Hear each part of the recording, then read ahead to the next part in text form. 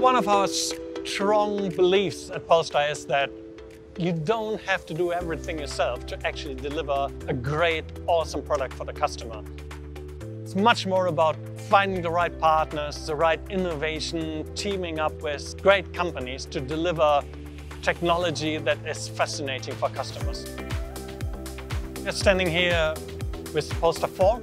The Polestar 4 is an SUV coupe, very unusual new shape that, of course, with its electric architecture, gives you lots and lots of space. It's the first car without a rear window. Great rear vision in your mirror by a camera feed, better view than you ever had with any window, but it doesn't have a window.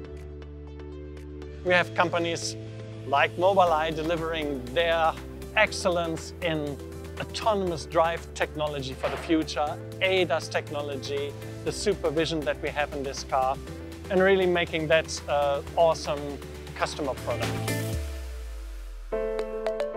It's a new era. I mean, look around what you see at the CES. It's all about how that great innovation translates into a product that makes you excited. And that's really what relation between Mobileye and Polestar uh, means for, for the customer to bring that amazing innovation into a product that you're passionate about.